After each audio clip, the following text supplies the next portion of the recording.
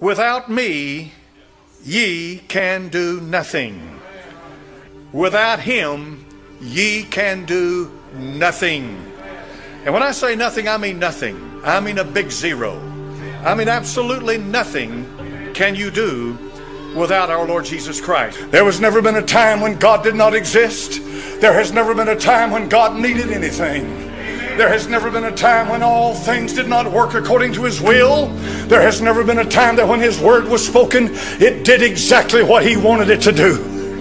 But I'm going to call your attention this morning to the fact that we live in a generation today, a generation that has perfected everything but its walk with God. They seek everything but fellowship with the Lord. They feel like that by organization and ability and human achievement, that they can get the job done, and my friend, the job's not being done. You can try to get the work done without God, but it won't get done. You can try to force your own doors open and they'll slam shut in your face. You say, Preacher, I'll force them open. No, you won't. This is the point that I'm trying to give you this morning. You cannot make anything happen, but God can open doors. Amen. He can remove obstacles. He can replace them with someone else. But the Lord Jesus Christ said, Without me, ye can do nothing. You know what that means? That means that we need God. We need God more than we think we need God. God that I serve today is above my mind. He's greater than my emotions. He's beyond my reach. He's the Almighty, and there's none like Him. We need God all day long. We need God every breathing moment. We need God every time our heart beats. We need God when we go to work. We need God when we go home. We need God. We need Him in everything. We need God.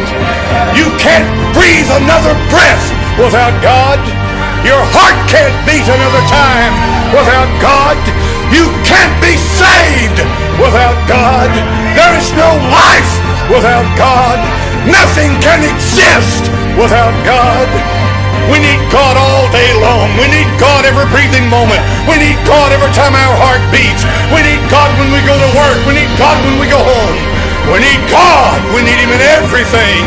We need God. Without me, ye can do nothing.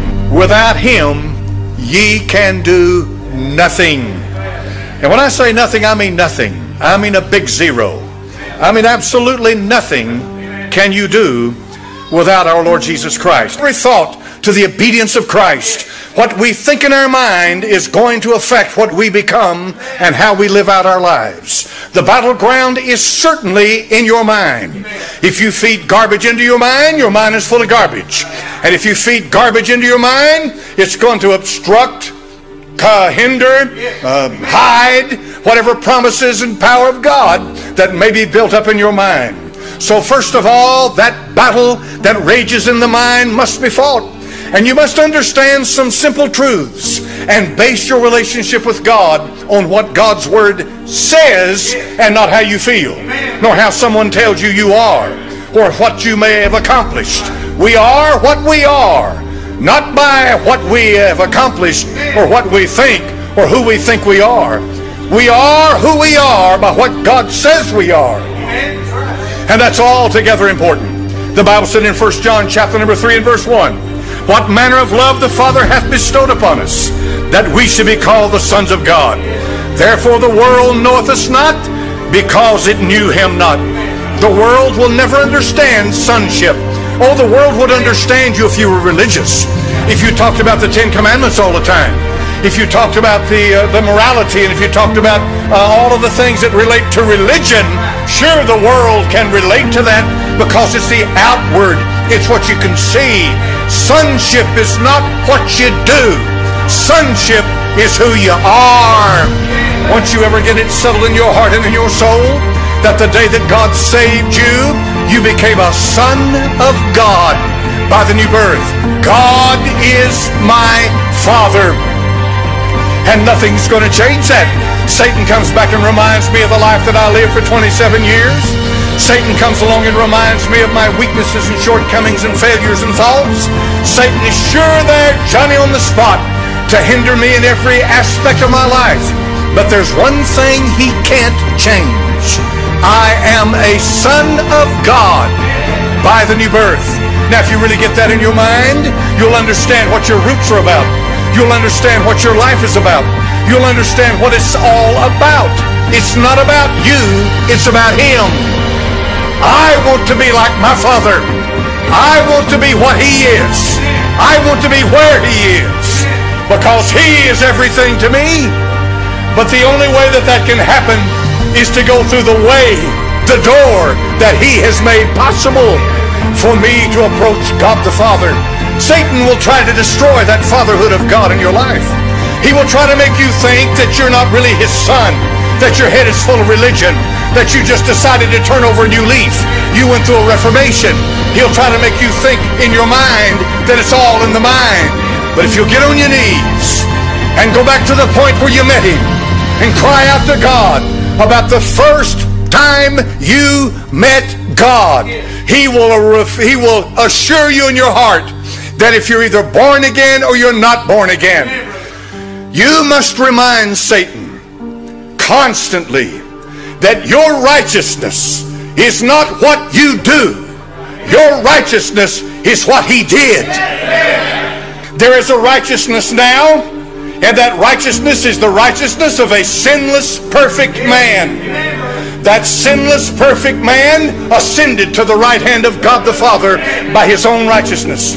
And that righteousness becomes your righteousness. And it is no longer how you live to work out your righteousness, it is what you believe that makes you righteous. Everything that we have to do with God is based on faith. The Bible said in Philippians chapter number 4 and verse number 13, I can do all things through Christ, which strengtheneth me. Satan will hinder you everywhere in the world. He'll throw every kind of a spiritual counterfeit in your path. You live in an age of great deception. And so the Bible tells us that I can do all things through Christ who strengthens me. Jesus is my life. Jesus is my salvation. Jesus is the Savior of my soul. Jesus is the lover of my soul. Jesus is the object for my life. Jesus is my future. Jesus is everything. He's everything. He's all there is. He's all there ever has been. Is the Lord Jesus Christ. He's worthy of our praise. He's worthy of glory. He's worthy of honor. Our mouths should be constantly singing His praises 24 7. If you'll ever fix your mind on the Lord Jesus Christ and get it off of yourself and get it off of Satan, you'll see a change begin to take place as praise and glory comes out of your soul. I don't believe there's any way that anybody can examine the Son of God completely, examine him like Pontius Pilate did, and say anything other than I find no fault in him. He's glorious. He's beautiful. He's eternal. He's the Savior. And there is none beside him. Bless his righteous name. The church has lost its identity. You ought to walk into the house of God and be confronted immediately with Jesus. Amen. That's what the singer needs, is Jesus. He doesn't need to turn over a new leaf. He doesn't need to join the church. He doesn't need reformation. He doesn't need your confirmation. He needs Jesus. The Bible said in 1 John chapter number 4 and verse 4, Greater is he that is in me than he that is in the world. I agree, amen. I know what inside me that every devil in hell knows. Every devil in hell knows his name. They know what he did at Calvary. I can do all things through Christ. Hallelujah. And that Bible said, Greater is he that is in me than he that is in the world. When you think you've gone down for your last time, when you think it's time to throw in the towel, when you think that there's no hope on the horizon, when you think that God has forsaken you, when you think that there's no need, there's no peace, that you'll never have what you had before, if Satan can never get you to the place where hope is taken out of your soul, then Satan can come and sift you. But the Bible says, greater is he that is in me than he that is in the world. I'm talking about the God man that lived 2,000 years ago that said to Satan in the wilderness, Get thee hence, Satan. I'm talking about the one who in weakness went to the cross and died so I could be saved. Get thee hence, Satan. The Bible says this in the book of uh, 1 John chapter number 4 and verse number 4. Ye are of God, little children, and have overcome them. Because greater is he that is in you than he that is in the world. Blessed be the God and Father of our Lord Jesus Christ, who hath blessed us where? In the heavens it's recorded and registered by the finished work of the Lord Jesus Christ. It's there. It's ours. It can't be changed. God has blessed me. Hallelujah. oh, yes. Yes, He's blessed me. Well, I feel cursed. That's because you're listening to Satan and you're letting him, letting him try to do it. And he cannot curse what God has blessed. Amen. Amen. Psalm chapter number 139, verse 13. I love this one. For thou hast possessed my reins, thou hast covered me in my mother's womb. Boy, we're talking about an unborn, unborn child. Now I want you to notice carefully. I took these three words possessed, reins, and covered. And I dug a little deeper into a Hebrew lexicon. And here are the meaning of those words. Possessed means thou hast created me. And reins means my most sensitive, delicate part. And thou hast covered me. That means to protect me in my mother's womb. The Apostle Paul said that he separated me from my mother's womb and called me by his grace. God's hand was on you from the first breath you drew. God's hand was on you from the first tick of your heart. God's hand was on you to bring you to this house this morning.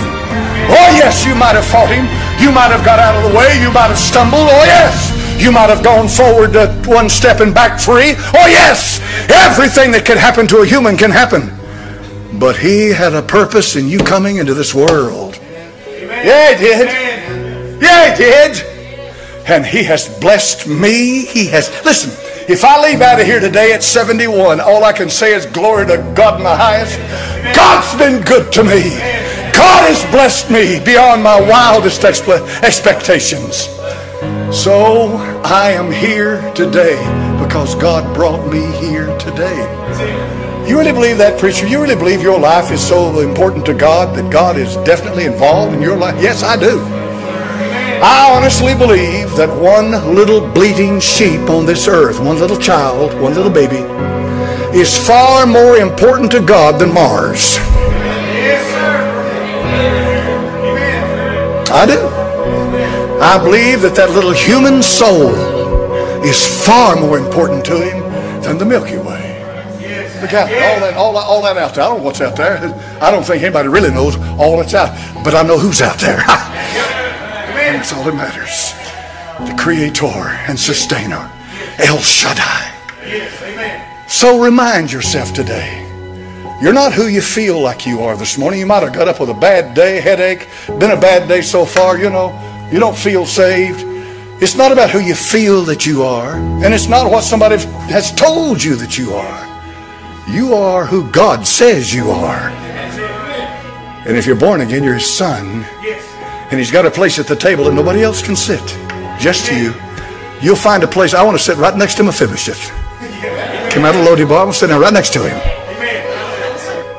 Greater is he that is in me than he that is in the world. So I go home this afternoon. I'm, I'm son of God. If my heart jumps out of rhythm at 1 o'clock in the morning and it's running up 150, 160 beats a minute, I know all about it. Been there many times. Been to the ER many times. I'm an old veteran at that. I'm still his son. I'm still his son. Nothing's changed. I still belong to him. I still, I'm still his, and that can't change. That's how to keep from being devoured. He wants to devour you. Have you been listening to the liar? Why don't you come down here this morning and say, Lord, let's go back to square one, start all over again. Let's just go back to the beginning. I want to go back to the beginning with you because I know there was a time when it was sweet and it was precious and I loved you and you loved me and I knew it. I want to go back there, Lord. I just want to start from scratch again. And that's good. That's good to go back to square square one, first base. Go back to the beginning. Go back to home plate. That's the beginning. Go back to the beginning of it. Just say, Lord, here I am. Let's start it all over again. He won't resave you, but He'll start your life again. Father, in Jesus' name, Father, I want to see every soul that's in this house blessed. I want to see them blessed. I want to see them happy in the Lord. I want to see them with joy in their soul. I want to see them blessed. I want to see them walking the walk with God, singing and rejoicing and shouting, blessed. That's what I want to see, Lord. I want to see homes healed and broken marriages put together again.